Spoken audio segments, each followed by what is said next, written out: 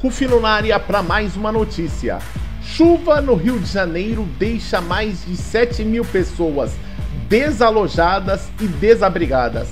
Nessa terça-feira, dia 5, o ministro do Desenvolvimento Regional, Daniel Ferreira, visita cidades atingidas pelo temporal. Infelizmente chegou para mim, para nossa meia notícia, né, que já estão em 19 o número de mortos. Gente, demais informações na descrição do vídeo. Deixe o seu like e o seu comentário. Forte abraço.